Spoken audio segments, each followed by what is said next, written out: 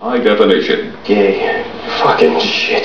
Good evening, I'm Van Tieu. You may have seen our newest AJ on NBC North Dakota News, and he'll be joining the weekend news team as my co-anchor. Tell us a little bit about yourself, AJ.